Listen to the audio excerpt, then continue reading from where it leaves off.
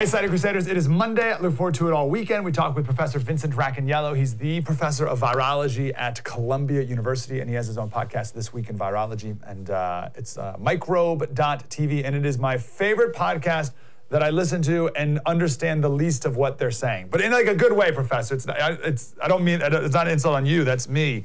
But I heard, I watched, I listened to like 20 minutes the other day of you talking about some study on mice using all these big words I've never heard before, but somehow still entertaining. Uh, how are you, Professor? I'm very well, thanks. I'll take that as an endorsement. That's what it was. That's what it was intended to be. All right, sure. sir, we got to put politics aside. I've never seen anything in medicine. So, I mean, science is often political, but medicine so politi- politicized as HCQ. Right. Um, and I, it's back and forth. And like people who have, you know, credentials here and there, all over the place. So let's put politics completely aside out of this entire equation. Can you give us some? Uh, not let's just talk like what is HCQ? What does it do on like a molecular viro- virologist level? Okay, HCQ hydroxychloroquine. As a, there's a related drug called chloroquine. They're both used to treat a number of other conditions, including malaria.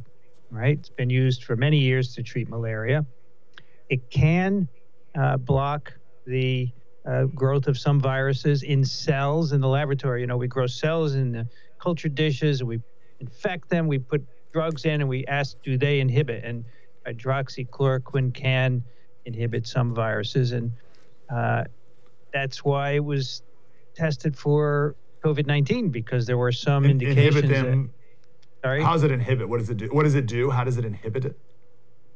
So it blocks the entry of the virus into the cell, right? The viruses have to get inside, right, in order to reproduce. And that entry step is blocked by hydroxychloroquine. Now, the key is this is really important. Uh, the cells that have been used to show that hydroxychloroquine can block SARS CoV 2 reproduction are from monkeys. They're monkey kidney cells. They're a very common laboratory cell line. And if you infect with SARS CoV 2 and add hydroxychloroquine, you will block virus reproduction. Okay, so that's a lot of people say, oh, look, it, it blocks. However, if you take cells from the lung and the upper respiratory tract of humans and you put those in culture, which we can do, you infect them with SARS CoV 2, you add hydroxychloroquine, nada, no effect doesn't block mm. in hmm. those specific cells. And those are the cells that are important, right? Because that's where the virus sure. is growing in you.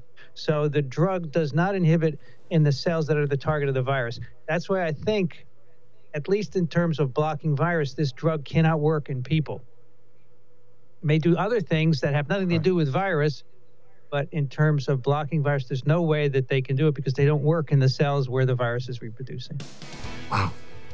That was deep and insightful. I want more of that. Like, subscribe, get more.